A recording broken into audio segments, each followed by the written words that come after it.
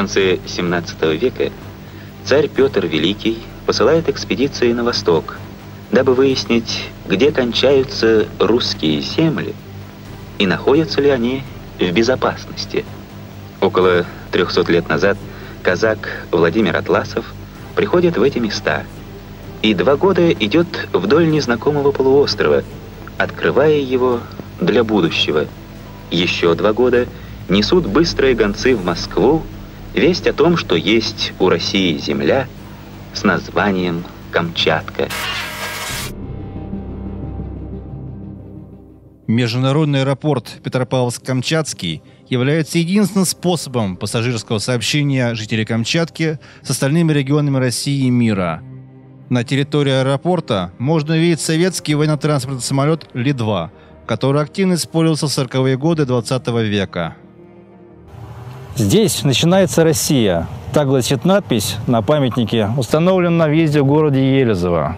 Памятник изображает медведицу с медвежонком, натуральную величину. Медведица-мать держит в зубах лосося. Медведи символизируют не только Камчатку, но и всю Россию. А камчатским жителям памятник напоминает, что они не оторваны от материка. Тихоокеанское огненное кольцо включает в себя две трети всех действующих вулканов планеты – из них 29 располагается на Камчатке. Огненное кольцо образовано сразу несколькими зонами тектонической активности, где подводные океанические плиты погружаются под движущиеся им навстречу континентальные. Извержение вулканов и землетрясения являются внешними проявлениями тектонической активности. Горные массивы Камчатки входят в состав Курило-Камчатской островной дуги – которая включает в себя около 300 вулканов. Наш первый базовый лагерь располагается между двух величественных вулканов, относящихся к южной части восточного вулканического хребта. Отсюда открываются замечательные виды на Авачинскую бухту, города Елизово и Петропавловск-Камчатский – Восточный хребет – это горная система, поднятая новейшими движениями тектонических плит состоящая из ряда отдельных хребтов с крутыми западными и более пологими восточными склонами.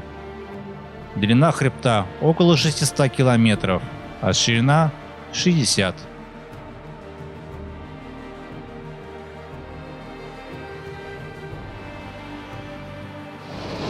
Авачинская группа вулканов, которую иначе называют домашними вулканами, находится в юго-восточной части полуострова, недалеко от Тихого океана. Вся группа состоит из пяти вулканов – Аг, Арик, Козельский, Корякский и Авача.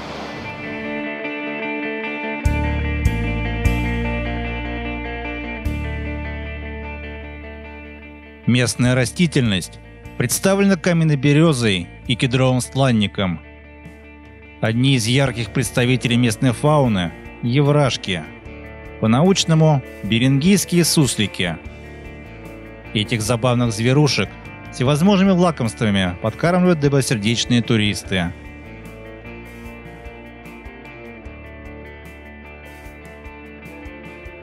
Авачинская сопка входит в список действующих вулканов Камчатского полуострова. Высота ее достигает 2741 метра. Историческое название вулкана – Авача или Авачх, что в переводе с трименского означает «огненный». Авачинская сопка – это двойной вулкан со ступенчатой постройкой. Современный конус с кратером 400 метров находится во впадине с крутыми краями, образованной остатками старого конуса – соммами – когда ты только начинаешь подъем, энтузиазм бьет через край. Но восхождение – это испытание. Особенно для неподготовленного человека. На вершину вулкана проложена тропа. Среднее время подъема занимает от 6 до 8 часов. Восхождение начинается с высоты в 1000 метров и, как правило, разделено на несколько этапов. Последний этап 700 метров крутого подъема. Самый сложный. Там наверху было облако, видимость метров 10, и местами были видны сульфатары. Сыпуха наверху. Ну, надеюсь, она того стоила. Последнее извержение Авачинской сопки произошло в 1991 году. Само извержение было незначительным. Однако в ходе его развития наблюдались все вулканические процессы от пеплопада и атмосферного загрязнения до лавовых потоков и раскаленных лавин. Результатом извержения стала лавовая пробка, почти полностью заполнившая кратер –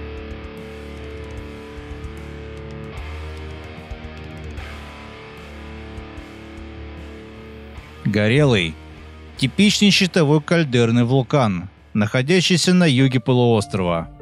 Относится к восточно-камчатскому вулканическому поясу. Застывшие лавовые потоки. Местность, усыпанная вулканическим песком черного цвета. Всем этим вулкан Горелый представляет собой впечатление грозного и в то же время удивительно красивого места. Около 40 тысячелетий назад на его месте находился огромный вулкан, диаметр основания которого превышал 30 километров. Со временем вершинная его часть опустилась, образовав 10-километровую кальдеру, окруженную невысоким скалистым хребтом. Лучше туда залезть э, пораньше, когда никого нету. Я думаю, красивые виды будут, когда ты один. Горный хребет длиною в 3 километра, сложный цепочкой из 11 кратеров. Все это – вулкан Горелый. На западе цепочка кратеров начинается уже бездействующим кратером западным. Он окружен невысокими скалистыми стенами. Дно его засыпано шлаком и занято ледником. Кратер под названием «Активный» сосредотачивает в себе всю активную деятельность. Дно этого кратера – славится кислотным озером оранжевого цвета, берега которого дымятся фумаролами.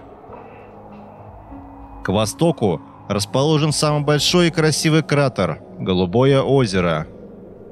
Его неправильной формы воронка, около полкилометра в поперечнике, окружена отвесными стенами высотой от 150 до 200 метров. Дно кратера занято озером голубого цвета – частично покрытым припайным льдом и плавающими льдами. Особенностью кратера является его изменение в период активности вулкана. В этот период озеро выкипает, меняя при этом цвет и форму. Последняя активность вулкана наблюдалась летом 2010 года. Привела к падению уровня озер, колебаниям почв и выбросам паров, которые были видны в Петропавловске-Камчатском. Ну, пещеры там не очень большие. Мы туда заходили всего лишь ненадолго. Ну, пещеры тоже интересные. Лавовые пещеры – это еще одна удивительная достопримечательность полуострова, которая также привлекает исследователей и туристов со всего мира. Система лавовых пещер находится недалеко от горелого вулкана. Самыми популярными у туристов являются пещеры Грот и Темная – Первая имеет два яруса. Первый из них имеет длину 55 метров, а высота его сводов достигает 5 метров. Далеко не все туристы решаются спуститься на второй ярус. Для этого нужно пройти по шаткой лестнице в полную темноту. На дне пещеры присутствует огромное количество льда. При этом лед отсутствует на стенах пещеры или своде. Система пещер возникла в результате извержений, а именно путем схода расплавленной породы лавы на ледники. В результате этой реакции лава моментально застывает, а ледник испаряется. В результате появляются пещеры. На небольшом участке крупного лавового потока, имеющего возраст приблизительно 2000 лет, сосредоточено 14 лавовых пещер – в данный момент для посещения доступны 6 из них. Пещера темная. В полной мере соответствует своему названию. Пройти по ней также сложно без дополнительного освещения. Она сквозная. но имеет в некоторых местах очень узкие проходы. Иногда туристам приходится преодолевать участки практически ползком. Главное отличие вулканических пещер от карстовых в том, что первые возникают в результате извержения, продолжительность которого невелика, то есть геологически мгновенно. Далее происходит только их разрушение и заполнение. Вторые же способны расти, развиваться и усложняться очень долго, в течение десятков и сотен тысяч лет. Кальдера вулкана Горелый похожа на черную выжженную пустыню. Большие участки идеально ровно шлаковых полей вокруг черных застывших лавовых потоков. Камчатка изобилует водопадами. Они все разные по своей красоте, высоте, силе и происхождению. На Камчатском полуострове большое количество рек, малых и больших. Поэтому здесь, ходе формирования суши, при вулканической деятельности, тектонических сдвигах и провалах земной коры образовались красивейшие водопады, которые не оставят равнодушным никого. Встретиться с медведем – это особое яркое впечатление от посещения Камчатки. Медведи в этих краях – нередкие гости.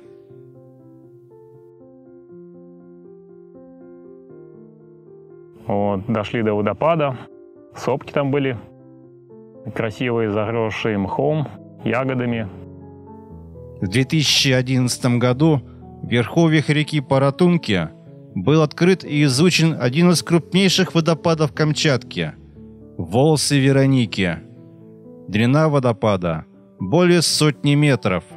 Высота падения воды – 64 метра, мощность потока – от 30 до 60 метров.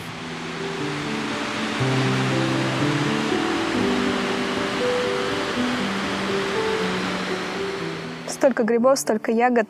Приятная компания. Очень здорово.